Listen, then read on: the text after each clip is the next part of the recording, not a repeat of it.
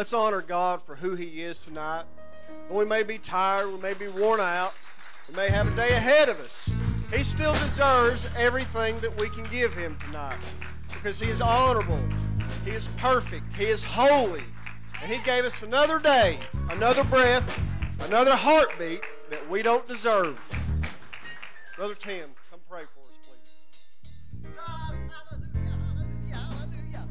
Raise your hands and your voice tonight. What's his name? Jesus! Jesus! Lord, we thank and praise you for being here tonight, God. We thank and praise you because you woke us up this morning and started the sun away, God. Move in this house tonight, God. Move on the, everybody tonight, God, that's sick. Everybody, God, that's discouraged. Everybody depressed tonight, God. Heal, God. Move tonight. God, move on the teaching, God. Help us to receive your spirit, Lord. God, we'll be careful to give you all the praise, all the honor, and all the glory tonight, God. We ask that you move, God, in your name tonight, God. What's his name? Jesus! Come on, let's give glory to his name. I said, let's give glory to his name. Come on, clap your hands and praise him. Down at the cross where my Savior died. Down where for cleansing from sin I cried. There to my heart was the blood applied. Glory to his name. Glory to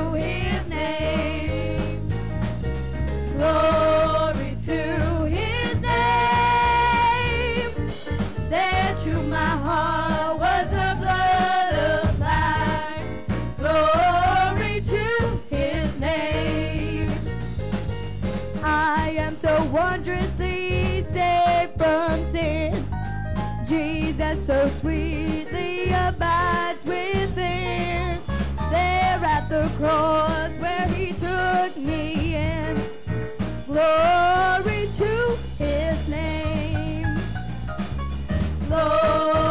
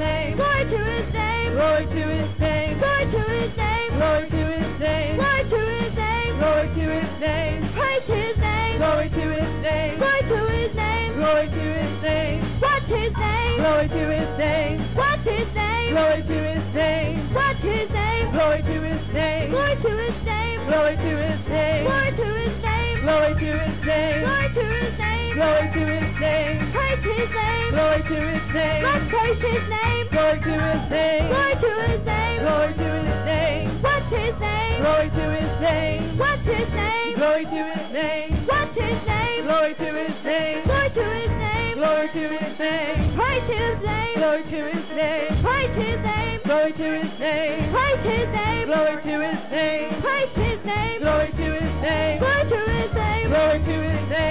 What's his name? Glory to his name. What's his name? Glory to his name. What's his name? Glory to his name. Glory to his name. Glory to his name. Glory to his name. Glory to his name. Come on, praise him.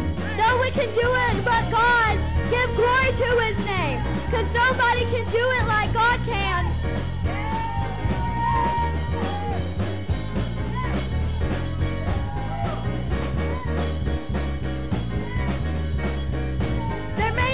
Big crowd here, but we can praise him anyway, can't we, church? I said we can praise him anyway, can't we, church?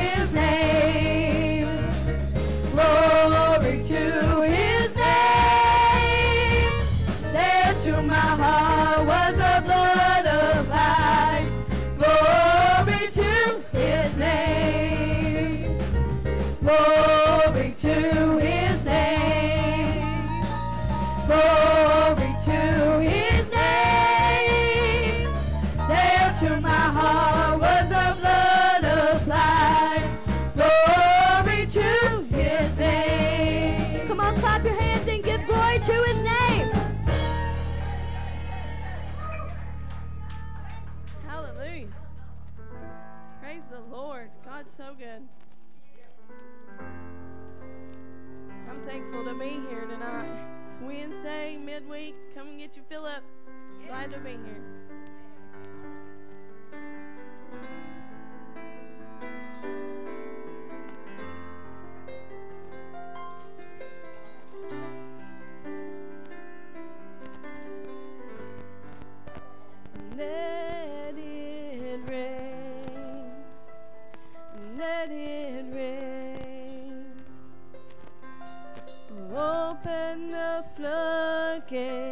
of heaven.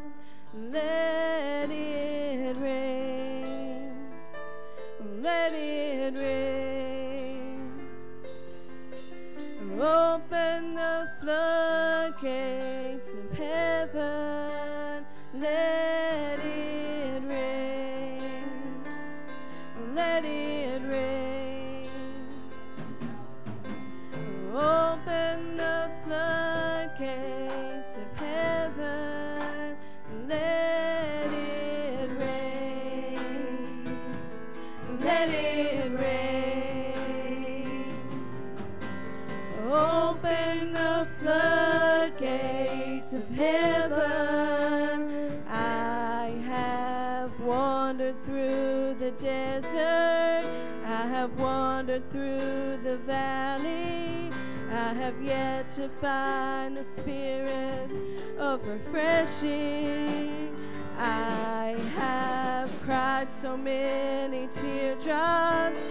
have yet to find relief.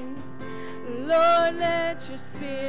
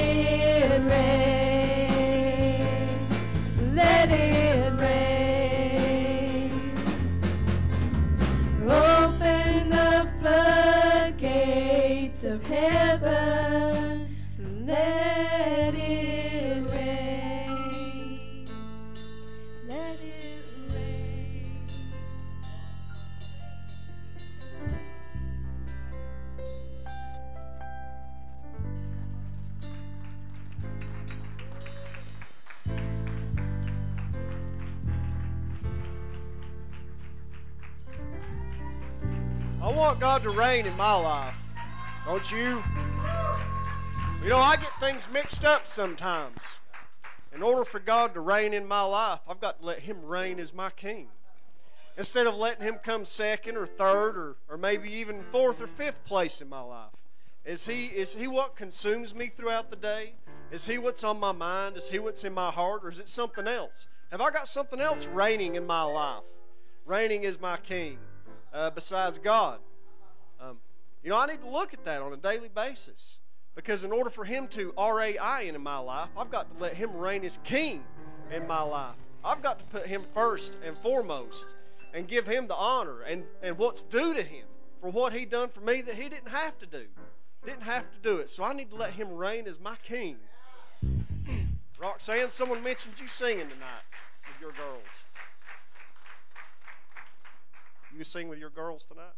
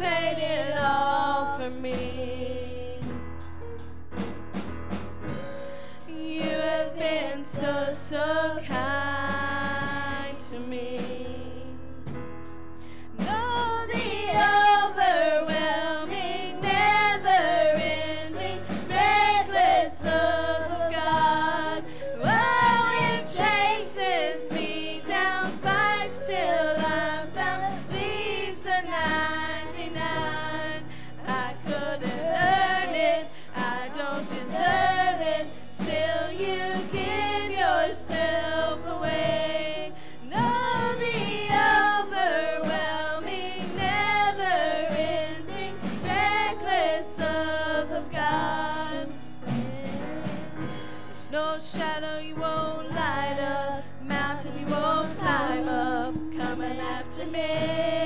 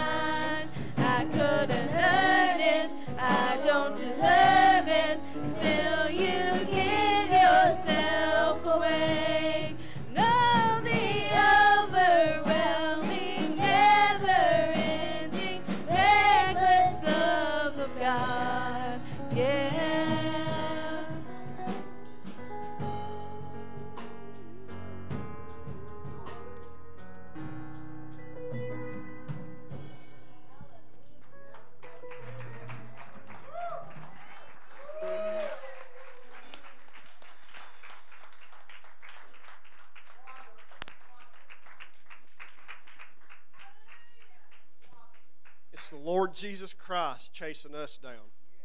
You know, as a sinner, we're not out there looking for Jesus. We're not out there looking for His blood. We're not out there looking for the cross. It's Him who's chasing us down, and we're not even looking for Him.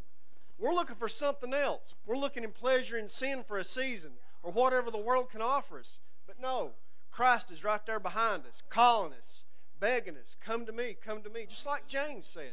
Man, when he died on the cross, he had James on his mind. He said, I'm doing this for Brother James Green. I'm doing this for James. I'm giving myself for him because I know he's going to need me. Because he can't do it on his own. Because Josh can't do it on his own. If you think you can earn your way into heaven by your righteousness, you're sorely mistaken. You're not going to do it. I'm not going to do it. It's not the good things that I can do that's going to get me there. Until that blood is applied to my life, I'm not going to make it. Until I accept Lord Jesus Christ as my personal Savior, I'm not going to make it. You know, and He paid it all for me. when I felt no worth. Maybe you're on Facebook tonight. Maybe you don't feel like you're worth anything. Not worth anything. Maybe you feel like you're just the worst of the worst. Well, I tell you what, Jesus paid it for you.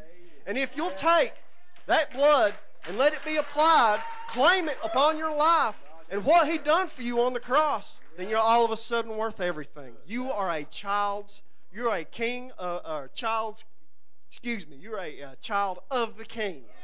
You all of a sudden become a prince or a princess because you are that royal blood. Once that royal blood has been applied to you, and all we have to do is claim it tonight. That's all we got to do. It's free for the offering. All we have to do is take it. Let's hear the word tonight. Let's give a pastor a hand.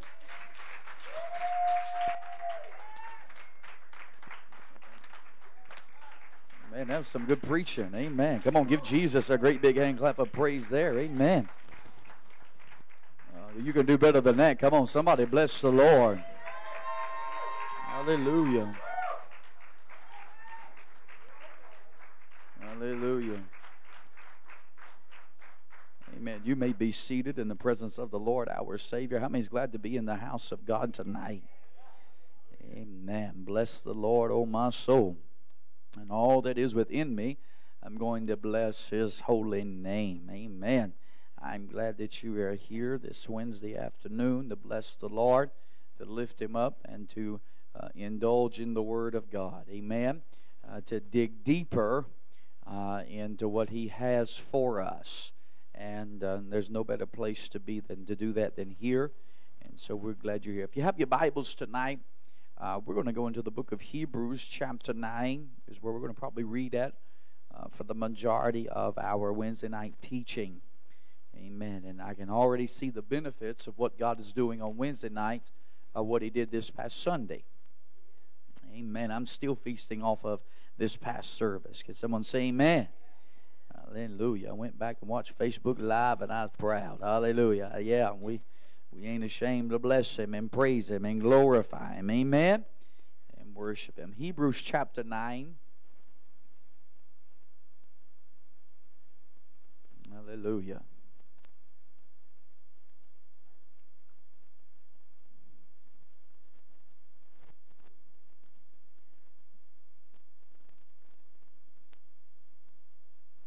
Hebrews chapter 9, verse number 1 the word of the Lord declares, Then verily the first covenant had also ordinances of divine service and a worldly sanctuary. For there was a tabernacle made, the first wherein was the candlestick and the table of shew, uh, and the shewbread, which is called the sanctuary.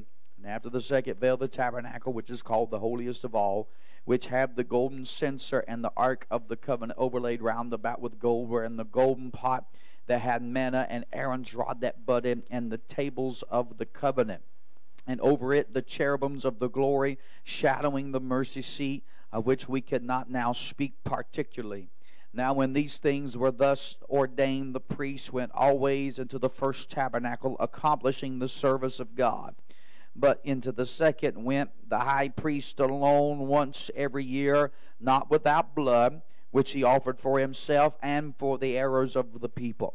The Holy Ghost is signifying that the way into the holiest of all was not yet made manifest, while as the first tabernacle was yet standing, which was a figure for the for the time then present, in which we offered both gifts and sacrifices that could not make him that did the service perfect as pertaining to the conscious. Can someone say amen? to the reading of the word of the Lord. If you would please lay your Bible down and grab somebody by the hand. Let's go to God in prayer as we get ready to, to jump in and teach and have our minds enlightened by the revelation of God's word. Father God, we thank you, praise the Lord, for tonight. Thank you, God, for gathering us here from every different walk of life, God. And even though we may be tired and and going through, God, right now, I know that you're able to strengthen every single one of us by the power of your Spirit, God, by the preaching of your word. Anoint me, God, tonight to teach and to preach as your Spirit would lead me and guide me. Don't let me quench anything, but let me flow into your Spirit and your revelation as you seem fit for us to hear tonight. In the mighty name of Jesus. And God's with that believer says, Amen. And amen. Come on, clap them hands and give God glory. Hallelujah. Amen. You may be seated in the presence of God, our Savior. Hallelujah. Amen. We are uh, dealing, this is part three so far of uh, the tabernacle, which we have many uh, more uh, parts to um, overlook. Uh, and so, um, just to pick up a little bit where we left off last week, we talked about the pillars. We're talking about the outside of the tabernacle. And um, as we talk about the outside of the tabernacle, we're talking about the pillars that were made of, of brass. We're talking about the the the uh, ropes, the cords that held both pieces, one inside, one outside, and we also talked about the pins, and uh, that would hold down uh, what we would call stakes in today's time. Remember, there were 60 in all. Uh, the material was brass for the pillars. Uh, then we got to their position. They were fastened down by cords, one outside, one to the inside. Talking about twofold cord working together in unity that holds up the structure of the tabernacle in itself.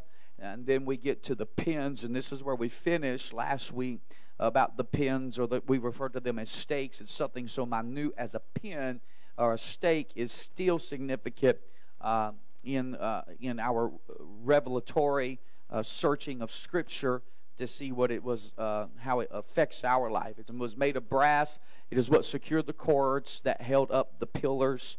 Uh, and then the word pin in the Hebrew it translates to nail. Somebody say nail. Say it again. Say nail. So when we look at this word nail, uh, when they nailed the pins, there was a few things that were happening here. This represents Jesus that holds all things in place. So Isaiah talks about Jesus being the nail. Uh, he's speaking prophetically that there would be a nail that everything would be put up on, and then one day the nail would be removed, and everything that would be there that was held would fall off. Go read that in Isaiah chapter 22, 15 through 25. That's talking about our sin. The Bible says that our sin was nailed to his cross. So he took it on himself, nailed it to the cross, and then the nail was removed. And now we do not see a, a, a cross that has anything on it. We see an empty cross, all right? Uh, which means there's an empty tomb. Amen? And we'll remember that. And so this is what we strive for to be nailed or fastened and secure. I want to be secure. Can someone say amen? I want the power revelation to be secure. Uh, I want to be uh, something that can be depended upon and that somebody can put the weight of something on. And, and depending what size the nail depends on what size, uh, what you could do with the nail. A finished nail does not go into rough construction. Can someone say amen? The heavier the nail, the more you weight it can con- control and hold and, and be strong. And so that's why God is working on us so He could put more on us. To where much is given, much is required. And so you can't say you want more of God and stay your weak self. And keep your old thinking and your old language. Come on, somebody. Does it work that way? Because God will not hang something on you that's going to fall off of you because it's heavy. Can someone say amen? So God has to strengthen us to get us to that place to where we can be secured. And so the pins were nailed into the ground. This is where we finished that last week. We, we did not see them. Uh, if y'all remember when we put up the, the gospel tent in Spruce Pine, you nail the stakes almost completely into the ground. They go all the way down in there because it gives them secure. Uh, the more of them you see, the less secure the tent itself is. And so the more, pe- the more people see you, the less secure you are if you have to be seen, oh come on somebody, and we've been we've been around people like that that has to always be seen. Always has to be known. Now, everybody's got to see them. Being honest, they shouldn't be seeing you. The old man should die and be buried and be the new man by unity holding on the, the little bit of flesh that's why the bible says that uh, that uh, that uh, bodily exercise profiteth little now it does profit okay so uh, so when people tell me that, well, that, that scripture right there tells you, you shouldn't be praising God because it's all about bodily exercise. Well, that is not the case because it does profit. Can someone say amen? It does profit to worship and praise God. But people should not, when they look at us, they should see more of Him, the cord that is connected to the pillar, than they should see of ourselves. And so, you know, you, you find out what begins to happen is, is uh, the cares of life start pulling you out of the ground which then starts weakening the tabernacle in itself. And so sometimes you've got to come to church and be driven down. Get your attitude down. Get your high mindedness down. Come on, somebody, help me now. Okay, am I talking? Has anybody ever come to church and thought, man, my God, the preacher just beat me on the head? Someone say amen. You know, he did beat me. I stomped on my toes. He beat me. Because God sometimes is just trying to get us back down to where he can use us to continue to hold the structure of the tabernacle up. Can someone say amen? And so that's what Jesus did when Jesus was buried. Uh, he went down, uh, and the old man died and held us together and the new man was risen in power uh, and, in, and in strength. So we must bury our old man and desires to held, hold up the tabernacle that God has established. So we're finishing with that. Just a little recap to go into uh, what I want to talk about uh, tonight. The brazen sockets. Okay, so we have uh, the outside, the dimensions of the outside of the court, and we'll talk about those in a minute. And in each uh, pillar, there was a socket that it would sit in. So there would be, if there were 60 uh, brazen pillars, there were 60 brazen sockets. And so uh, the sockets were like the foundation. And so you would take the, the brazen pillar and you would have it in the socket. This is where the pillars set in. This was a very small part, but played a, a critical part in the tabernacle. And so this represents the parts of the church. And so I want us to go to the 1 Corinthians chapter 12. Uh, and I want us to look at some scripture here that will uh, continue to um, let us know that we all have a part to play. Can someone say amen? 1 Corinthians chapter 12, verse 12. Reading is a little bit lengthy, but I want us, we're, we're here. We can, we can take as long as we need to uh, on our Wednesday nights, all right? For the Bible says this For as the body is one, and hath many members, and all the members of that one body, being many, are one body, so also is Christ. Now listen to this. For by one Spirit are we all baptized into one body, whether we be Jews or Gentiles, whether we be bond or free, and have been all made to drink into one Spirit. Do you see where we're going? It's all about one. It's not about many, it's about one. All right? For the body is not one member, but many. All right? If the foot shall say, Because I am not the hand, I am not of the body, is it therefore not of the body? My God, don't that sound like the church? I didn't get to sing my song, glory to God. He ain't asked me to sing on the praise team not one time. I could play Mary Had a Little Lamb Hello, I'm just I'm joking. That's all right, you know. And get mad and upset. They didn't ask me to bring my potato salad to the dinner. You know, they, they didn't they didn't pastor didn't shake my hand. I'm not getting to do what I want to do. Well, the, the, but guess what? That you may not what you're wanting to do may not be what God has placed you to do in the body. The hand may want to be the foot, but guess what? It ain't. And, and, and I, will be honest. There's some churches you go to and you ask the preachers to stand up, and 75% of the people stand up call themselves to preach. The devil is a liar. Everybody wants a microphone. That's all they want. They want a microphone, and if they think you get rich. Ah, yeah. And, and so they want to do all that. So, yeah, I'm a preacher, but they don't want to pray. And they don't want to fast and they don't want to study. Oh, I'm, I'm, I'm walking good right here. Guess what? That, they're not the part they want to be. And I believe we do sometimes people an injustice. You know, when I feel the anointing off of somebody for somebody to preach, I don't automatically tell them that. Because I want to see. Can someone say amen? I want you to know where you fit in at, and you're not just fitting in uh, just because somebody can give a fired up testimony. Don't mean they're called to preach. Oh, Jesus, I'm doing good tonight, and I'm making you good and mad. You got to find where you fit, and that's where you work it. Can someone say amen? Let's keep reading. And if the ear shall say, Because I'm not the eye, I'm not of the body. Is it therefore not of the body? It's still part of the body. It just ain't doing its part. If the whole body were an eye, where would the hearing? If the whole uh, were a hearing, where was the smelling? But now hath God set in the members, every one of them, in the body as he, it hath pleased him, not you. God has put you in the body where he wants you. And so if you are where God wants you to be and He's pleased with you, it doesn't matter if anybody else is pleased with you, and it doesn't matter if you're pleased with you. If he's pleased with you, then that's what matters. And that's what you've got to ask God tonight when I walk out of here. Am I pleasing where you want me? Am I doing my part at Greater Remnant? Am I doing my part in your whole body? Am I doing what I should be doing? Or am I upset because I'm not getting to do? Let, let me now let me ask you, some of you now, some of you that have a position in this church, would you be coming here if you did not have that position?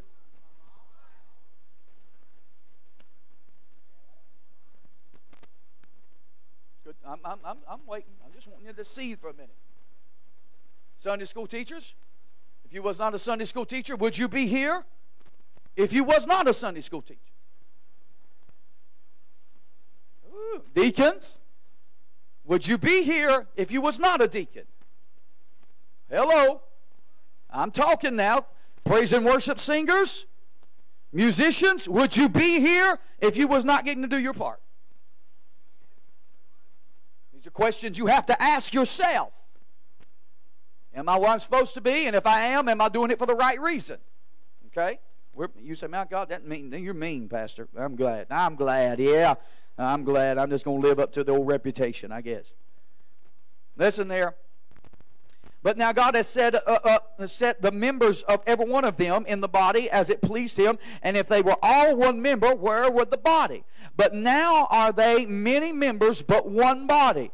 And the eye cannot say to the hand, I have no need of thee, nor again the, the, the head to the feet, I have no need of thee. Let me tell you, I need you.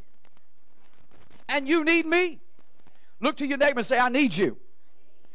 Look behind you and tell somebody in the next row, I need you. Look at somebody in front of you and say, I need you. We, we, we need each other. We need, we need, just because you don't sing don't mean I don't need you. Just because you don't preach don't mean I don't need you. Just because you don't teach don't mean I, I don't need you. Just because you're not on my board don't mean, we, we need each other. And, and when we ever get to the point where we act like we don't need each other, I'm finding another church to pastor. Because as many people come in, we need you to be who God's called you to be and do what God's called you to do so we can accomplish everything that we need to accomplish. And you say, Amen. Shake somebody's hand and say, I need you. It's a good teaching. Uh huh. I need you. Uh, and say, Nay, much more, those members of the body which seem to be more feeble are necessary. So look at that. The ones that seem to be more feeble, not as strong, they are necessary. I had to eat that myself. I get mad sometimes. Because I know people in here ain't doing what they should be doing out there. You better thank God I ain't God. Bam! Out. Get done. Someone say, man, like, out of here. And then when I read that, God said, hey, listen, just because they're feeble don't mean you don't need them. Just because they're not as strong as you don't mean you don't need them. My right hand is strong as, is, is stronger than my left hand. I'm not ambidextrous. My, but just because my left hand ain't stronger, do I cut it off? And so here we go with people in the church because some people don't do it the way you do it and don't like the way you like it. Then you want to cut them off. And there's a bunch of churches out there that's cut off part of their body. They don't want nothing to do with them. Guess what? When they get to heaven, they're going to be surprised. Because there's going to be some people there that's part of the body that they cut off down here and they realize, my God, I could have used them when I was down there. Someone say amen. Can I keep reading? For our comely parts have no need, but God hath tempered the body together. Tempered. Now, now you got to understand that. That uh, we'll talk about that some other time. Having given more abundant honor to that part which lack, that there should be no schism in the body, but that the members should have the same care one for another. Uh, and whether one member suffer, all members suffer. I know that's right. I tell you that. I'm my own body today. I was putting some siding on my house, and, and my thumb got in the way. Oh, Jesus. I was doing some dancing, but it wasn't like Roxanne on Sunday. You know, I, I was throwing my hands up in the air. My uncle was helping me. He raised up and goes, I didn't feel it. I said, No, you didn't, but I did. I thought, Lord God, it, but, but my man, my whole body hurt. It ricocheted through. I mean, my I slammed my thumb, and everything hurt. Can someone say Amen? So when you see somebody in this church hurting and it doesn't affect you, what's wrong? Something is wrong. Can someone say Amen? When one hurts, we all should be hurt. We should, it should, it may, it, you know, I, my, my right thumb didn't hurt when I smashed my left on the day, but it still affected me because after that, I, I began to be a little skittish because I was still in pain. So my job became a little harder because I was what I was trying to nail together until the pain left, until I got it to work together. I wasn't moving at a faster rate. It affected everything about me. So when somebody in this church gets hurt, and having to deal with things in life, guess what? If you don't think it don't affect you, you're wrong. It affects the services. It affects our meetings. It affects our revivals. It affects everything. Why? Because we are fitly together. But guess what? I started doctoring this, this thumb, and uh, uh, you know my mouth knew how to take an Advil. Hi, yeah, glory to God. Can someone say Amen? I took something to get rid of the pain so I could continue to do my job. And so that's what's wrong with the church. We got people that when they start getting hurt, we just want to cut them off. What sense would it made after my thumb hurt, start got hurt because it got in the way? And then go just cut it off. That time, it ain't no good no more. Timmy over here, I forgot about oh brother Tim. Hallelujah. Yeah, he likes cutting his off with lawnmowers. He looked at and said, that ain't no good. Hallelujah. Let me read on. I, am I'm, I'm meddling. We still need Timmy. Can someone say, I, mean, I thank God for Brother Tim. Can someone say amen?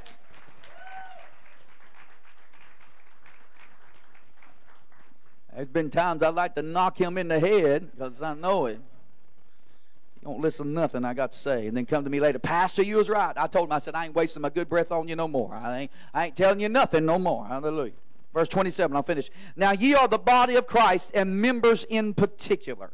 And then he tells us here in Corinthians, and God has set some in the church, first apostles, secondary prophets, thirdly teachers, and after that miracles, then gifts of healings, helps, governments, diversities of tongues. And then he asks the question, are all apostles? No. He said, I said some. Are all prophets? No, I said some. Are all teachers? Are all workers of miracles have, have all the gifts of the healings. Do all speak with tongues? Do all interpret? But covet, uh, uh, covet earnestly the best gifts, and yet show I unto you a more excellent way. He said, You don't have to be those parts. I'm showing you a better way that you still fit. I'm going to show you something. Um, with the fivefold ministry, I know I'm going a little long. If, if you look at it, remember, I don't know if you remember when we did teaching, when I started teaching uh, earlier uh, this year or maybe even late last year about the fivefold ministry and about how it's set up, how we have the apostle, we have the prophet, we have the evangelist, have the pastor, and have the teacher. Okay? We have those five. Hold your hand up like this, wave at me. It's the best way to remember. Apostle stands out, different, but the foundation. Without the thumb, uh, no one can, you cannot grip. You cannot make a fist. You need the apostle. It is the foundation. You have the prophet that points, tells you your future. This is what shall be. This is what is going to happen. You have the evangelist, the middle finger. It's the longest finger. It's the one that reaches. It's the one that grabs. One that grabs people in together. Then you have the, the, the ring finger, which is the pastor, which represents covenant. That's why you write your ring on that. And that's who you're in covenant with. That's who you, you work with. That's who you see. Can someone say amen? Then you have the teacher, which is the smallest finger, but can get into places that no one, none of the other fingers can get into. So they all works together as the hand. And so you can see that when they come together, it raises a fist. And he continues to work together. Now, here, I'm going to show you something. Uh, here in Corinthians, he says uh, that he set up in the church. Uh, can, can I read it? And God has set in the church first apostles, secondary prophets, the teachers. After that, miracles, gifts of healings, helps, governments, diversities of tongues, uh, and, and, of uh, diversities of tongues. And then he asks us a question, all apostles. And so here he sets some. In, in, in, Paul's other writings, he talks about he first sets the apostle. He then he's right here he sets the prophet. Can we read it again? And, and God has set some of the church first apostles, secondary prophets, and thirdly teachers. So what sign does that make? I love you. For God is love. So he's showing us that he is all about love. And he loves us enough to set us up to where we can work together in one mind and one accord. And so this helps us work here. That makes us look as the brazen sockets here in back uh, in the going back to the tabernacle. That every member has an important function. Okay, so I want to show you something about why I said that, why I started this, because the representation of the hole in the socket. So the socket here that held the brazen uh, uh, pillar up on the tabernacle, it's playing a very important part. There's three representations that this hole makes. All right, the first representation I want you to think about a socket. Uh, that would be a, a, hole that was brass that they would put the brazen they would pick up the brazen um, pillars and set them in it to where it could kind of set there to where they can run their stakes and their and then dr- drive them in to where they could hold it up. The first thing, so there's a big hole there. Looks like it's empty. Looks like it's no good, but there's a reason. The first, the first hole, uh, it, the, the hole in the socket, first represents the hole that the cross was placed in that raised Jesus up from the earth. But when they went to uh, uh, when they went to put Jesus on the cross, they'd already pre-dug a hole for the cross to be set in, and then the dirt put back in to where it could be tampered and Jesus could hang there on the cross. Mm. For a moment, when the hole was being dug, the hole, if it had to had a moment, said, "Well, man, there ain't nothing in me no more." But something great was about to be put in the hole that would hold up Christ, which would hold us up for the rest of eternity. So when God starts emptying things out of you, you ought to get excited. I'm trying not to preach. I'm about to just run all over the building and preach the house down just for a few moments. And I may do it here in just a minute when you see where we're going. Can I keep talking? And, so you sometimes got to let God dig out some things. You got to become a socket that has to sometimes be an empty place. When you get into ministry, if you ever really want to be in the ministry, there'll be times you'll have to preach empty. You'll have to sing empty. You'll have to minister empty. You'll have to have nothing in there. So God can put in there what he wants to put in there. So they did not know it, but when God told them to make brazen sockets, it was a representation of the great pillar that, that we have built the church upon and it has held the power of the church on is the cross. Oh, Jesus. But you got to be willing to be empty so God can fill you. Can I keep talking? So, so, but there is another representation of the brazen socket. The second hole represents the hole of the empty tomb. Woo! So the socket, when you seen the socket and it did not have nothing in it, uh, it was representation of the tomb that would be empty. I feel God in the place.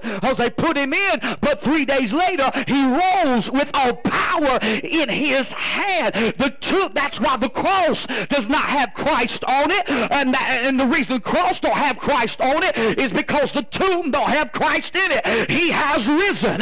He has ascended. He went down for three days the hell and said, got the keys of death, hell, and the grave, led captivity captive, and gave good gifts unto men. I've come to tell you, he's not there anymore. He has risen. He is not in the tomb. The tomb is empty. He went in, but he did come out. And I don't know about anybody else, but I can say I'm glad that he got up. He got up, and then I can say, oh, death, where is thy victory? Oh, grave, where is thy Somebody tonight ought to get up and tell death, you ain't going to make me afraid. Somebody ought to tell the grave, you ain't going to scare me because Christ has risen. And Jesus says, if that same spirit that raised him from the dead, if it dwells in you, it will quicken your mortal body Somebody give God 30 seconds of praise if you're glad that the tomb is empty.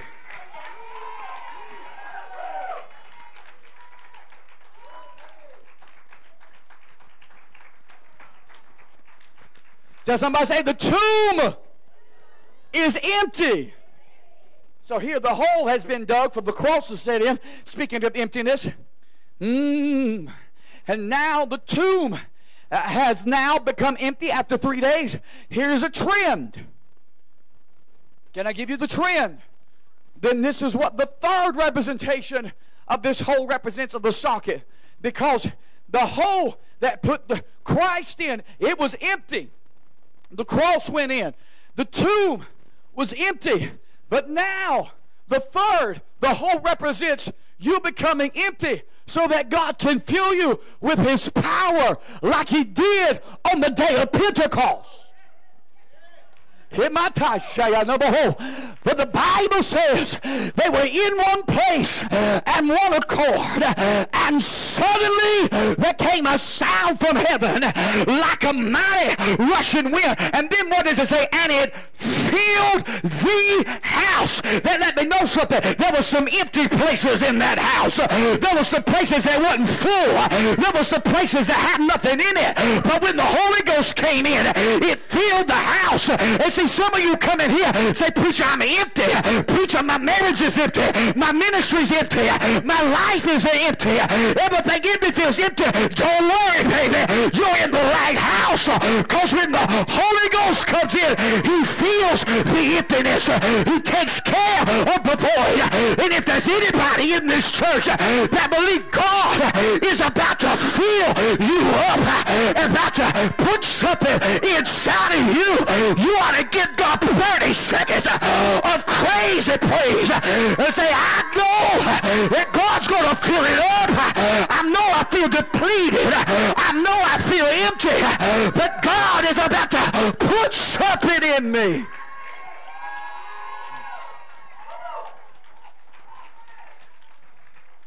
Get somebody high five and say, He's going to fill you. He's going to fill you. He's going to fill you. He's going to fill you.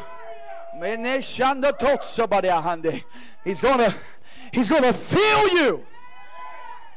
When the socket was made, it was made to be empty. So when the time appointed to set up the tabernacle could come, that it would be specifically be able to hold the brazen pillar of the tabernacle.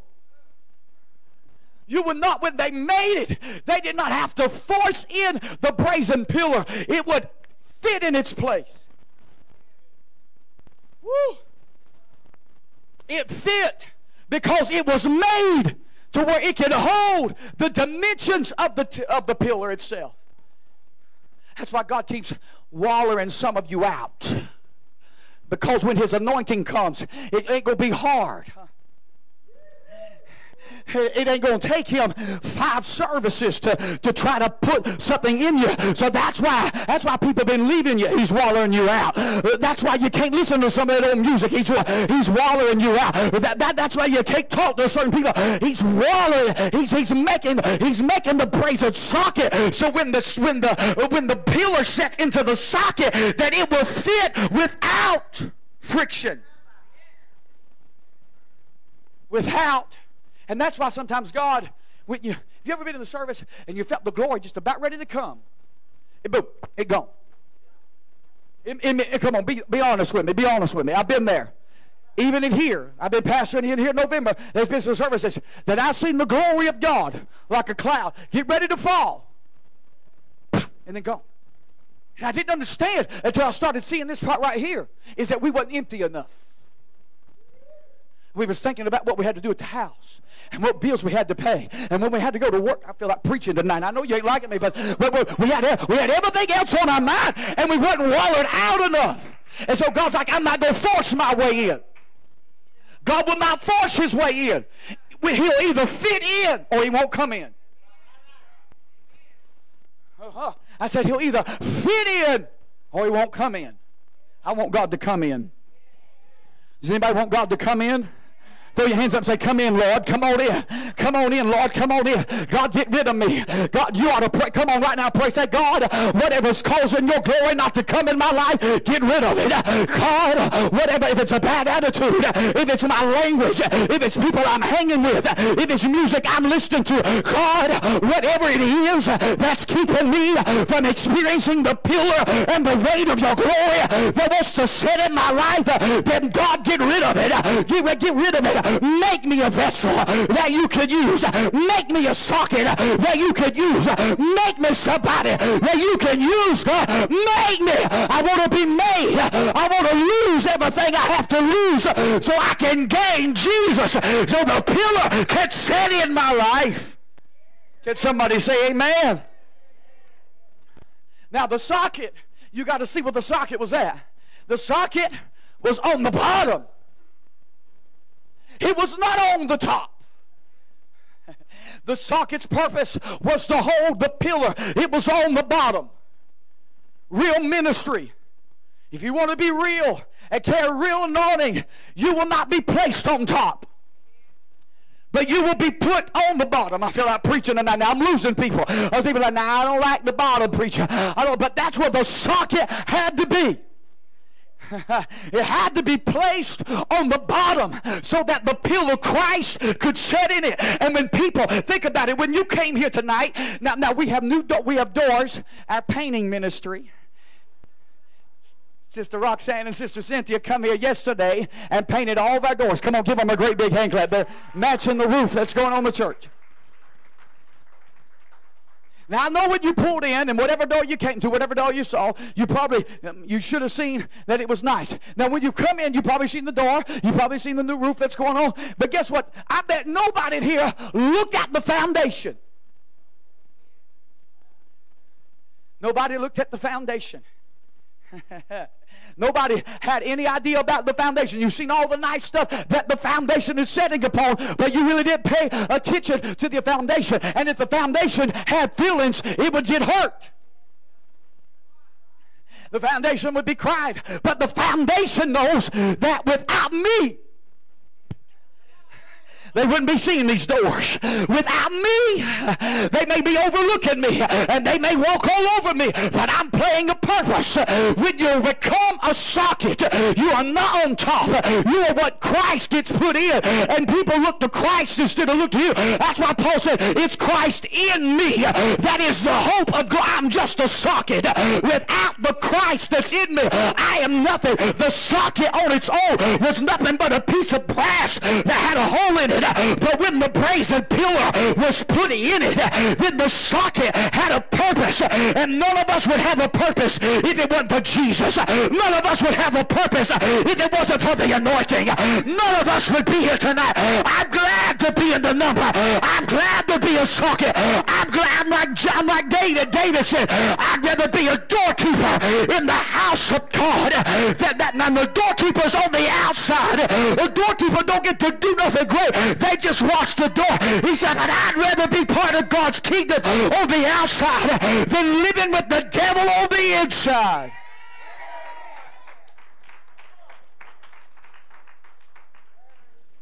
Can I keep talking? We're preaching. A little both, I guess. So we got to look at this that the sockets were on the bottom.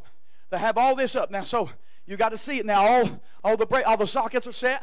All the brazen pillars are set. And so now here they go to create the walls of it. The walls are not like uh, wood and stone, but they are the hangings, and we'll talk about those in a minute. So I want to I want to flip here. Can, can we keep talking? I I've got a little bit more to teach if we can. Are you good? All right. So we have what we call the hooks and the fillets, or what we would call uh, the rods. Somebody say the rods. The hooks and the rods, the, the, the, the scripture calls them the, the, the fillets, if you want to call it that. Uh, the hooks are what held up the curtains, and, and the fillets were the curtain rods. And this is what I want to go to the book of Exodus because I want you to see. I want you to see something here.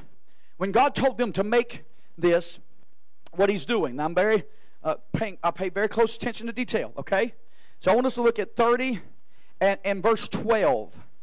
Okay. Exodus 30, verse 12. And this is what the word of the Lord says. "A- a- And when, when thou takest of some of the children of the Israel after their number, then shall they give every man a ransom for his soul unto the Lord when thou numberest them, that there be no plague among them when thou numberest them. Okay? Uh, this they, they shall give every one that passes among them that are numbered half a shekel after the shekel of the sanctuary. A shekel is 20 gerahs. A half shekel shall be of the offering of the Lord.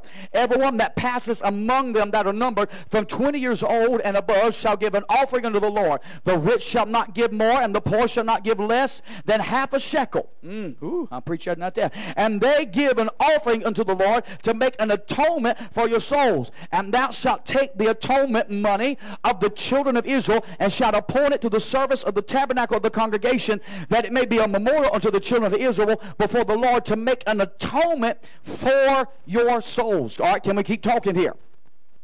All right, can we? Can, can, are you ready to, to get what this? This this was this half shekel was of silver, and this silver was to pay for the atonement of sin.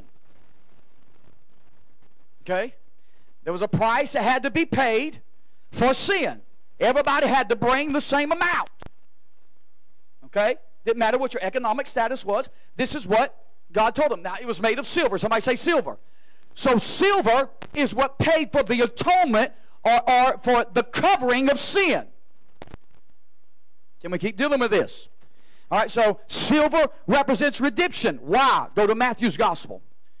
Now, now you got to see this. Now, the reason I'm talking about silver because this is what this is what the uh, the the fillets were made of.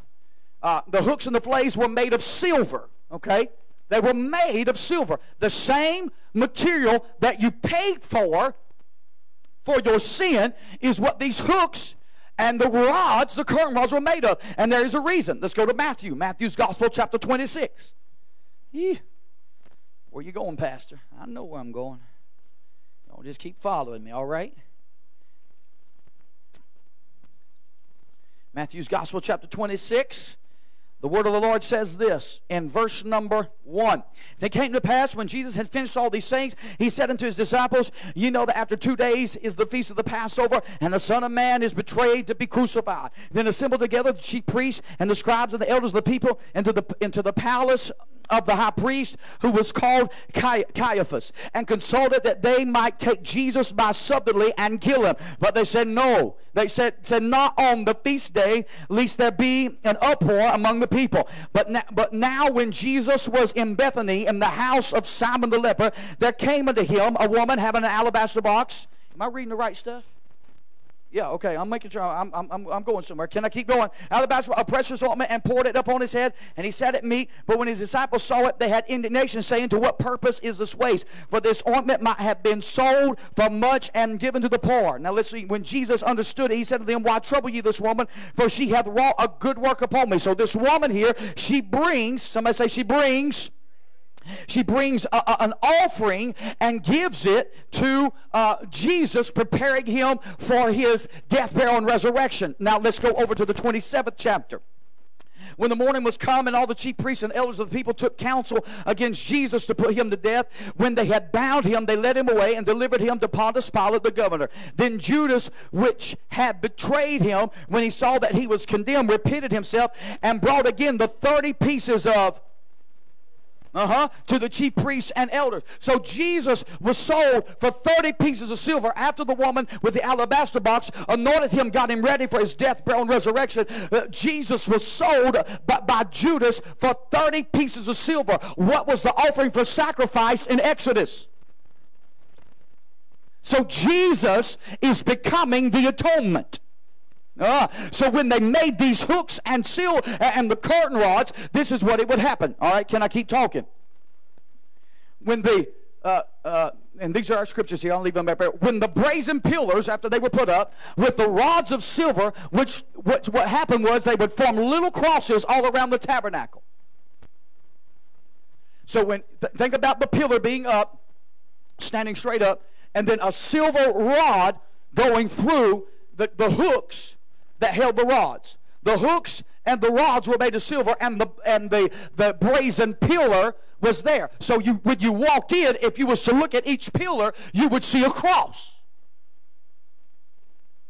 All right, can we keep going? At this place is where brass and silver met. The cross is where my sin. Remember, we talked about what brass represents. Brass is tainted gold. Remember, uh, two weeks ago we had to establish that when you see something was made of brass, it represented sin. Remember that when Moses made the brazen serpent, put it up on the on the pole, and all that looked at it was uh, okay, representing Christ that would take his sin upon us and that we would live. So when we see brass, the brazen pillars, we see we see what we would consider sin because Christ took our sin upon us. He took up on simple flesh and came amongst us. All right? And so this is what happens. And so the cross is where my sin and his redemption collide. Silver crossing with brass, His blood crossing with my sin, His payment for my sin. Uh, uh, hold on, Pastor. Don't get taught, taught up yet. Go, go to go to First Peter. Go to First Peter. I'm going to show you something, and we'll, we'll try to quit here in just a minute. It's eight ten. Can I keep talking? I don't want to give you no more than what you want. Chapter one. First Peter chapter one, verse number eighteen. For as much as ye know that ye were not redeemed with corruptible things as silver and gold. Look here. Uh-huh. So it wasn't the silver that redeemed you. It was a representation. When, when Jesus was sold for 30 pieces of silver, it was a representation. But that's not what redeemed you. Look what here. From your vain conversation received ye by tradition from your fathers, but with the precious blood of Christ, as of a lamb without blemish and without spot. Ah. His blood on the cross is what redeemed me. So when they would walk into the tabernacle to make their sacrifice at the brazen altar, if they was to look up, they would see crosses of brazen and silver. They would, if they would have known at that moment that there would be a day, Shanda Bahaya, that they wouldn't have to come. Whoo, I feel God. And offer up sacrifice for sin. See, when we come here and praise God, we're not praising God because of our sin. Our praise is not a substitute for our sin. When we come here and praise God, praising Him is just about him. In that day when they brought sacrifice, it was for their sin. They could not come in and just enjoy the presence of God. They had to come in and deal with their sin. But now we are blessed to live in a day to where we don't have to come into church and worry about our sin because it's already been paid for on Calvary. When we come in here, we are to come in and see we bring the sacrifice of praise into the house of the Lord. We bring the sacrifice of praise into the house of the Lord. For we offer up to you the sacrifices of thanksgiving, and we offer up to you the sacrifices of joy. So we bring the sacrifice. Let me tell you tonight, when you come in here, you shouldn't have to worry about your sin. You ought to say, my God, it's already been nailed to the cross. His blood has already paid the price, so I don't have to walk around under the condemnation of sin, but I can walk in the liberation of the power of the blood of Jesus Christ.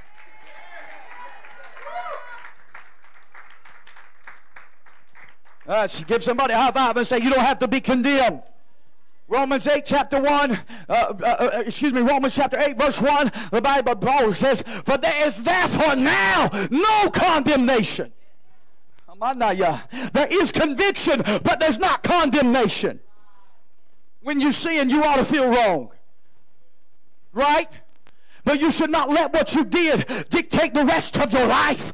You ought to get it under the blood and say, devil, yeah, I made a mistake, but it's under the blood. I have an advocate with the Father. It's under, my God, I'm trying not to preach it here. My, somebody's walking out of here tonight and say, that was my past. I did do that, but I have a future. I have a hope. I have, my God, and there's something inside of me that's keeping me and holding me. It is the cross. It is what happened on the old rugged cross. I'm so glad tonight.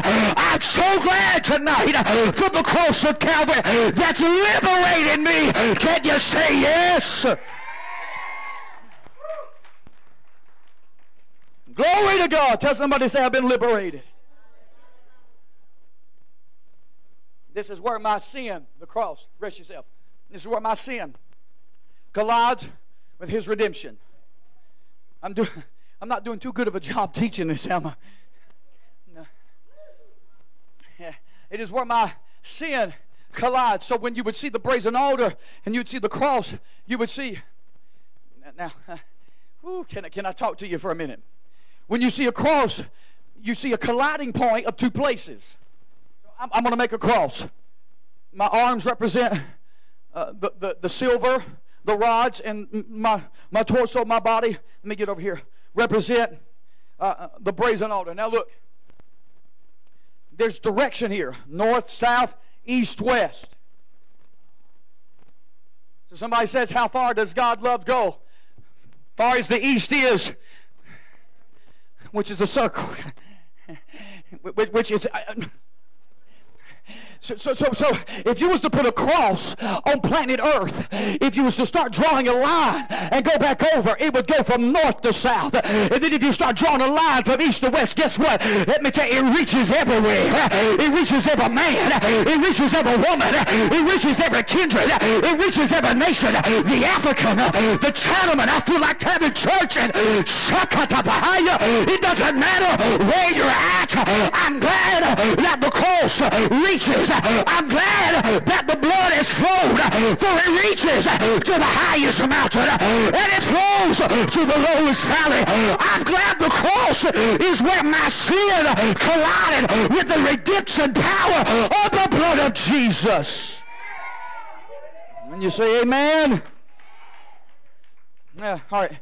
Let me, let me finish with this. Can I finish with this? Okay, so we see we got we, so we got to see the purpose of the pillars, what they did with the with the curtain rods and the hooks that would hold the fine twine linen. There was two reasons here. For, the first reason is for the support of the hangings of the curtain of the court, and to support the gate into the tabernacle. Those are the two main reasons for support of the hangings of the curtains of the court. And I just put up pictures of modern day pillars. It's hard to find uh, pictures of true tabernacle pillars, but I did my best to get some examples earlier in our PowerPoint, uh, the teachings a few, uh, I believe it was last Wednesday. And so I just put up here pictures just kind of show you support. So for the hangings of the, cur- of the curtains of the court and to support the gate uh, into the tabernacle. All right? We should be the, a support system that will take the weight of His glory and help provide a way for others to get in. Oh, Shandamba. Oh, it was the hangings of the curtains. The curtains. Isaiah chapter 6, verse 1. In the year that King Uzziah died, I saw the Lord. He was high lifted up, and his train that word train also means curtain. It filled the temple. You've got to look at this. This is what the pillars did. It held the weight of the glory of God, but it also held the gate that it was into the tabernacle. You should be a, a weight. You should be holding the weight of the glory of God and at the same time holding the entrance into the power and the anointing of God. This is what your purpose is to do, is to hang there and say, there's a. I'm not the pillar. You cannot enter in by the pillar. A pillar, there's no way you can walk through the pillar. But what the pillars would do was hold the way for the gate. And that's what we got to tell people. We're not the way, but we're holding the way. Oh my God Almighty. We're not the truth, but we're holding the truth. We're not the life, but we're holding the life. You can't get to the Father except you go by Jesus. And I'm just holding up Jesus. When you see me, I'm just holding up Jesus. When I preach, I'm just holding up Jesus. When I teach, I'm just holding up Jesus because I want to show you that there is a way into the presence of God. I'm going to finish with this. Go to Second Corinthians 3, and I will, I'll be done because I don't want to overfeed you. Woo! Mmm. Well, Lord, I'm glad there ain't nobody on the piano tonight. I'd preach all night long. Second Corinthians 3. This helps us show us our purpose for the pillars to hold the weight of His glory and to provide a way for others to get in. Verse 3. Do we begin again to commend? Am I right? Am I reading from? I'm in, I was in, first, I was in Second Corinthians. Let me go to. No, I'm in Second Corinthians 3. I'm looking at notes in the future. Second Corinthians 3 1. Do we begin again to commend ourselves, or need we, as some other epistles of com- commendation to you, or letters of commendation to you from you? He, he said, so he wants to start here and say, do, do we need to send you, thank you for doing your job letter? Hello? Am I teaching too long, or is you all ready to go? Like you tired now? Do I need to? Do I need? Let me put it to you like this. Uh, Alexis is here, and before we left, I was sitting at the kitchen table, got my stuff together, come over here tonight. Um, going to pray for Brother Steve's mother who's in the hospital, so we left a little bit early. And uh, Alexis walks out of her room, comes into the to the uh, um, the kitchen, opens up the uh, uh, the refrigerator, and gets her something to drink. You know something I did not do to her? I did not do to her what I what I did to her when she was first learning to walk. When she was first learning to walk, I mean, like when she first started, oh yes, we would give her a cheer. Right? Ain't that what you do? Oh, come on, take that first step, and you give them uh, a confirmation. I seen Roxanne doing that to Scooter. That's Noella. That, but Scooter's her name because that's all she did for all the time. She could scoot faster than you could walk. I mean, she'd be gone. That's why I call her. She'll never get rid of me. As long as I live, she'll be called Scooter. That's her nickname from Pastor. And uh, and, and, and but I, I remember like you know Roxanne would get frustrated, Dan would get frustrated because but every time that she'd go to try to walk her, and I remember Alexis and Josiah, you know we would be happy. Oh, you walked great, and so the more they walked, and there for a few months we got excited. You know they would walk a long time. I'll never forget in the home that we live in when Alexis walked from uh, right there at the edge of the kitchen all the way to the couch that was in our living room, and it was a, it was a great compliment uh, uh accomplishment to her, and I was excited because she being my oldest, that's the first time I'd ever seen that. You know, watching a kid just develop and walk and, get that underneath her. But today, when she walked in there, I didn't go, You walked today. Good job. Good job, Alexis. I've never, ever since that moment, I've never got happy about her, you know, walking. And so, for somebody that's been in church for a while, the pastor or nobody else shouldn't have say, Great job giving your tithes today. Oh man, that's oh, I'm glad I'm glad you're being faithful in giving your tithes. Now to somebody that just got saved, that's something that's appropriate. You show them how to give their 10% and you help them. But for somebody that's been saved for a while, we shouldn't have to say, good job. For somebody that's been in this for a while, we shouldn't have to say, my God, you praised him good tonight. You should be praising him good every night. And I should have to give you a compliment and a pat on the back to say, good job. Oh, I know this is tough teaching, but this is going to make us who we need to be in God.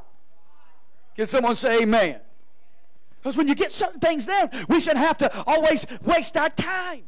That's waste. That'd be wasting time for me to take time from looking at my Bible to tell Alexa she did a good job walking from her room into the kitchen to get something to drink. What sense does that make? None. And so we want the pastor, after we've been in this for a while, to always give us attention when babes that have just come in and got saved need the attention. But we so upset because why am I dealing with this tonight? Lord Jesus, let me let me go home. I was doing good. Y'all were running all over the building. Now you're about to stone me in the same service. But it's the truth. We shouldn't have to write you a letter say, oh, great job, do that. There comes a moment where you know this is my job.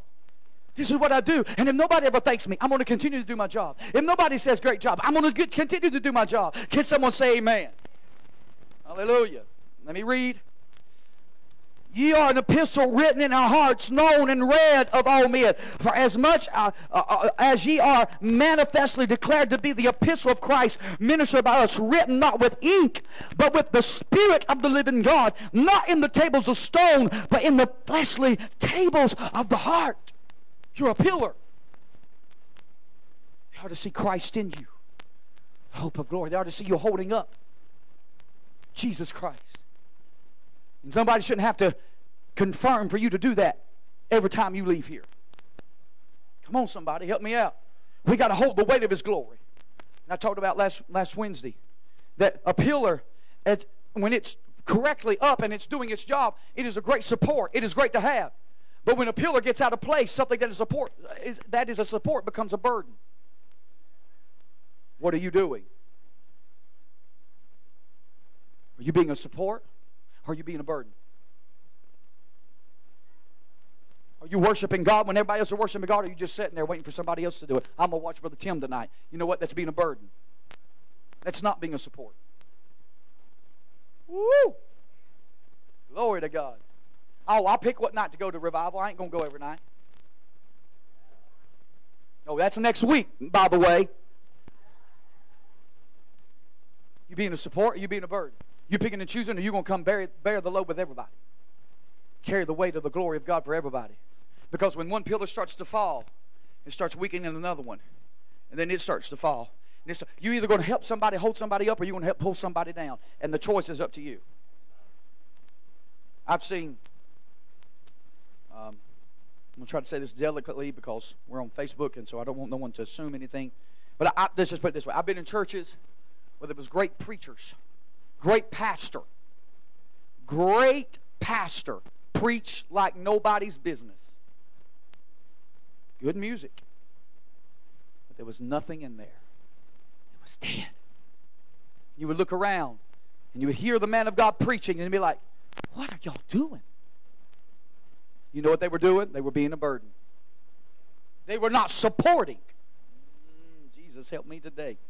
We're not going to be that here, not as long as I'm pastoring. I'm not going to bear the weight. I'm not going to get up here and be your little puppet on a string and preach real great and you sit there and not do nothing. It's not happening.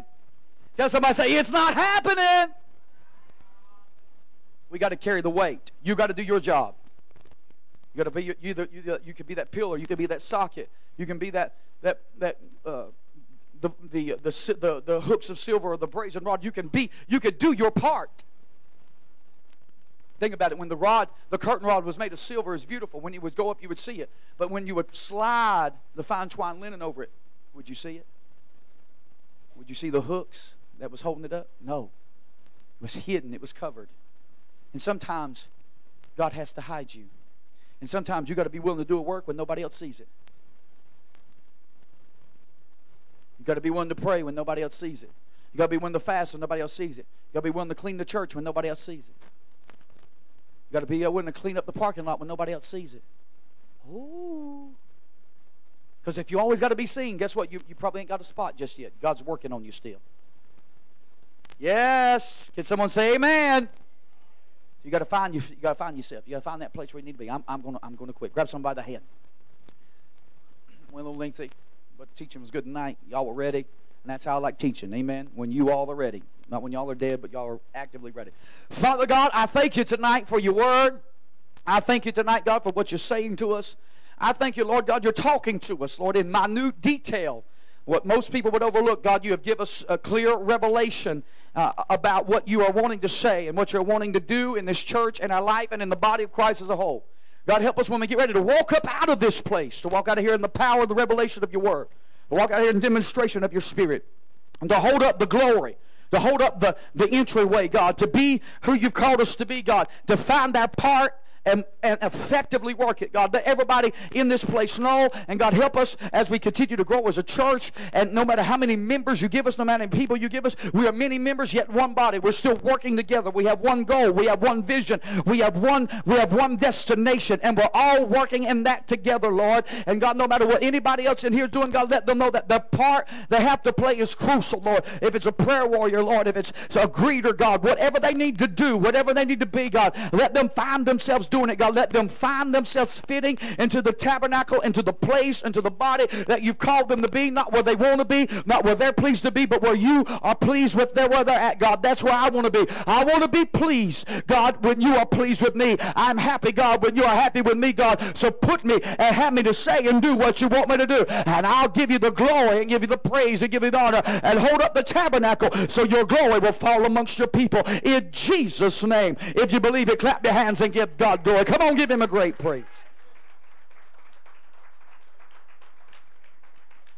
Hallelujah. Somebody say hallelujah. Thinking someone say ouch. Y'all know some of that hurt, and I ain't gonna look at you, but some of that hurt you. Like, pastor's a little rough around the edges tonight. Glory to God. Glory to God. Tonight I want to come to you for our Wednesday night offering. Amen. So I want you to go ahead and get your, your tithe ready. Amen. Get your offering ready. Amen. To sow into the ministry and the work of the Lord. Praise the Lord.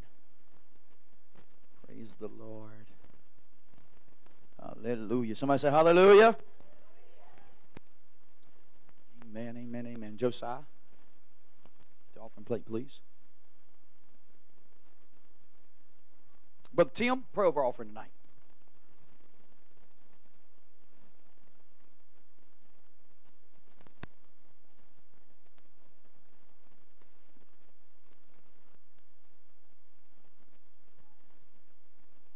Amen. Something wrong with you?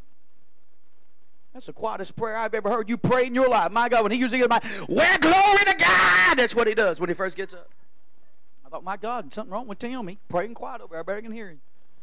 Hallelujah. Amen. Let God bless you and give him. Somebody say, I have because I give. Say, I give because I have. One more time, say, I have because I give. And I give because I have. if you're watching us by Facebook tonight, feel free to go up and support our ministry uh, with a, a donation with a gift. We have a, a donate button through PayPal. Everything is secure. Uh, you can, if you want to go to PayPal and, and put in the Greater Remnant Church at gmail.com, you can do that as well and, uh, and support us. We love providing these services and messages to you and teachings to you. So if they've been a blessing to you, uh, and you've been faithfully watching and getting something from it, please support us. Can someone say amen? We need it so we can provide these services to you. Glory to God. Give Jesus a great big hand clap of praise.